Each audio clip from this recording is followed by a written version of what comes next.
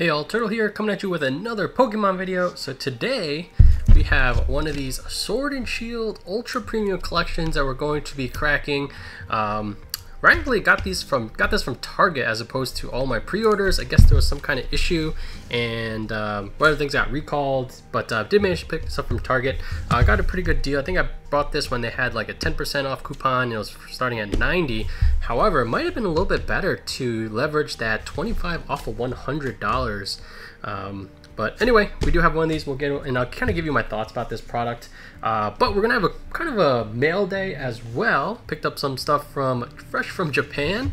We have the Bede. This is the trainer trainer card collection. Uh, so I think I'm going to keep this sealed, but inside they do have some Japanese packs, which I don't really collect. Uh, comes with a folio and then a signed quote-unquote trainer card. But they have some pretty unique arts, and yeah, so that's like Bede signature, I guess.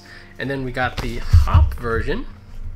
I do like this art. You kind of have um, Sonia in the background, and not sure what he's doing. Uh, look at his signature is kind of kind of weird. And then last but not least, we have the Marnie one. Definitely, I think this is the funniest art.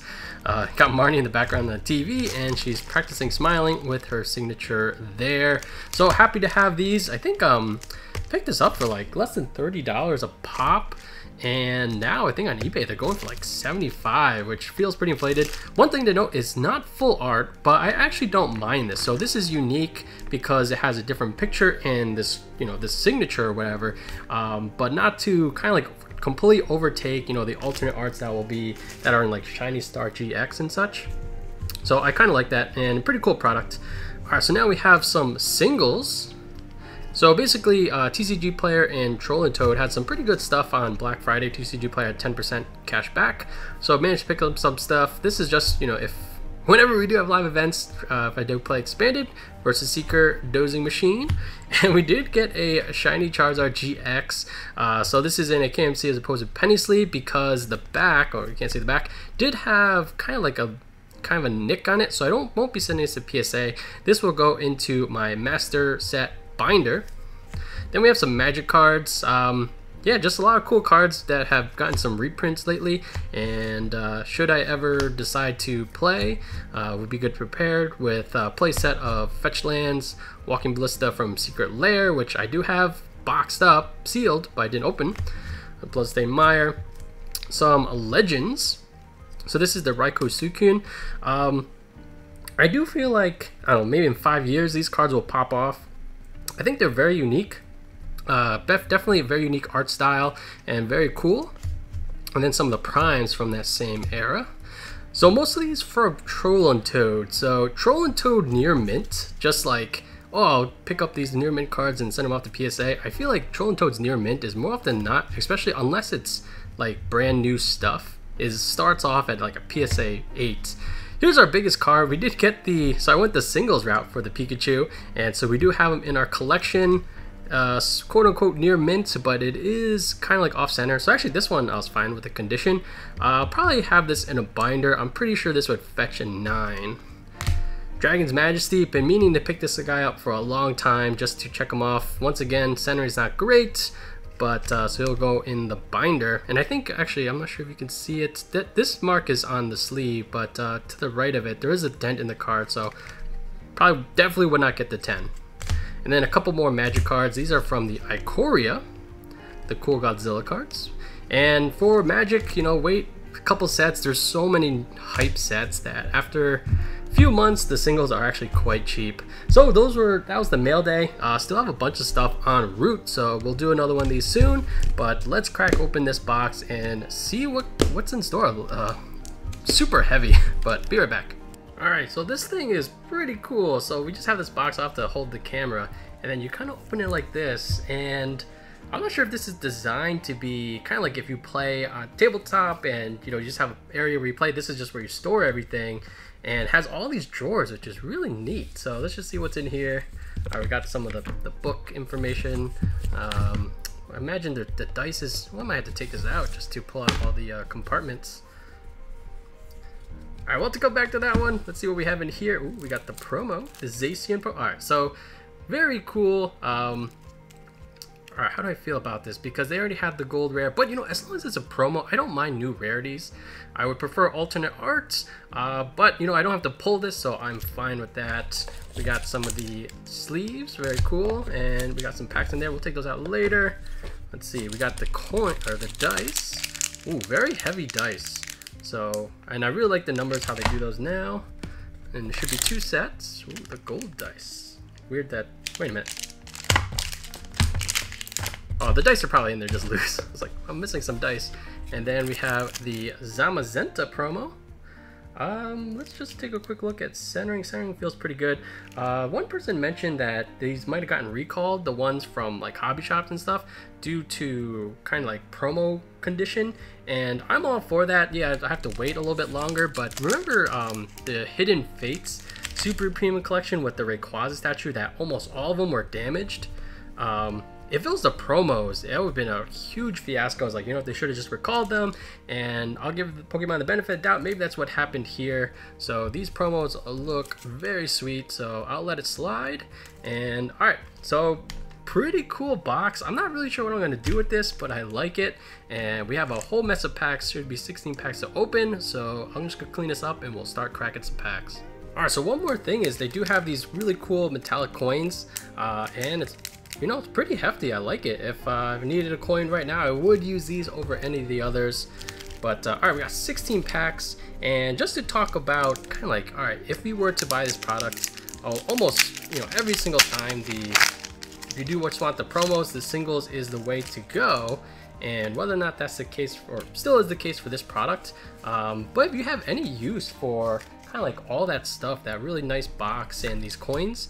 Uh, I do think this is definitely worth picking up one of. Um, definitely not something you want to open too many. Look at this, like Nick on all these cards. But getting multiple of these, um, you know, I can't imagine what you would do with all that stuff. So we got a hit off our first pack, a Dhelmise V. Where's my sleeves? We will take it. Oh, Blast from the Past. I Haven't, it's been quite a while since uh, opened a good amount of Sword and Shield packs. Hey, um, I will say though, 16 packs, and let's say you, you pick this up from some kind of, you know, deal, uh, whether it's the Target 10% off, this 25 off 7, or 25 off 100, you know, if I'll evaluate this thing as, you know, as if it was paid like $80 for it, uh, I would, yeah, basically fall under the category of, yeah, worth getting one, um, don't get more than one. At this point, you have a lot of stuff that you'll never use. And if you want a bunch of those promos, at that point, go towards the single market. Alright, Sword and Shield. Wouldn't mind a Snorlax.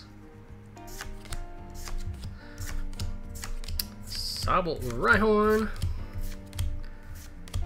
Lanoon into just a Raichu.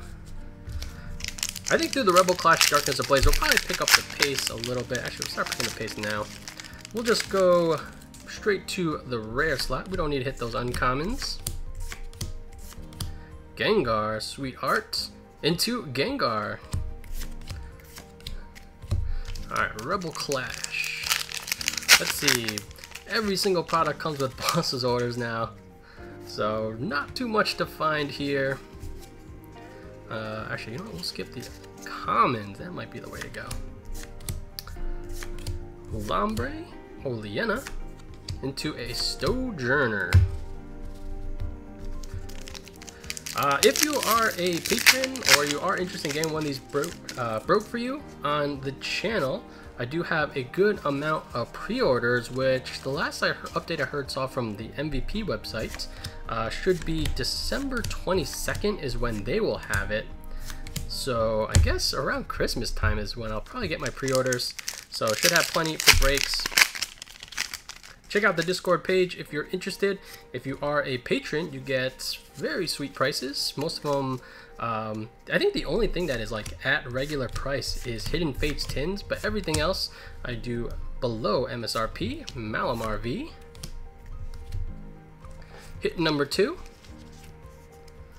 So out of 16 packs, um, let's, you know, I feel like getting definitely at least one texture kit, ideally off of Vivid Voltage. We need a well-centered Rainbow Pikachu. Alright, last of Rebel Clash. Ooh, Sonia, nice. Actually, you know what? I feel like this card's pretty good. Search your deck. Two basic Pokemon, two basic energy. Put them into your hand. Very nice. And uh, actually, let's take a look at centering. I don't think it's unlikely that I'd want to grade this. Actually, this looks perfect. So I take back what I just said. Uh, my initial thought was have it for the binder collection, but we'll get it graded. Alright, on to Darkness Ablaze. Looking for Charizard VMAX version 1 because now there are going to be three versions of this card that we have to chase. And uh, was it called Shining Fates? Come, was it February? I did a video on my thoughts about Shining Fates. It's actually pretty well, so thank you all for the positive feedback. And if you haven't seen it, check it out. Alright, Darkness Ablaze pack number two. Pupitar, powerful energy into a Flygon.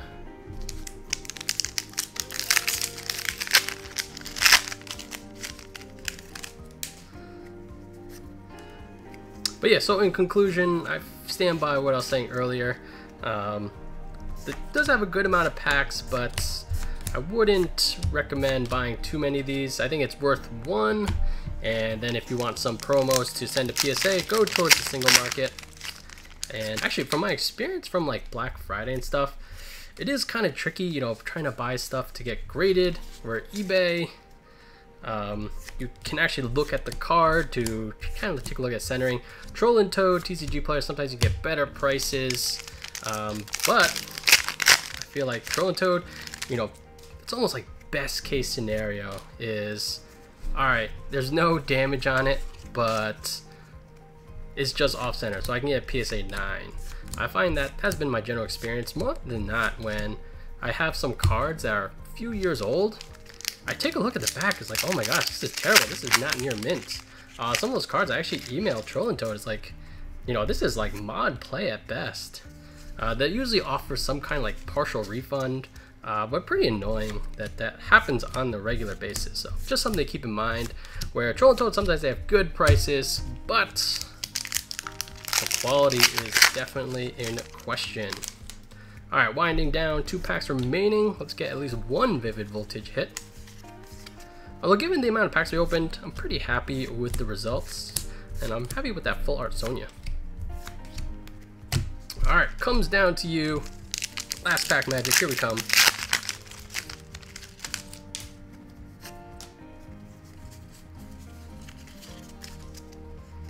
Alright, here we go. Bay into a Zapdos. So that's going to be it for me today. As always, thanks for watching. Like, comment, subscribe all down below. I'm Wanted Turtle, and I'll catch you guys next time.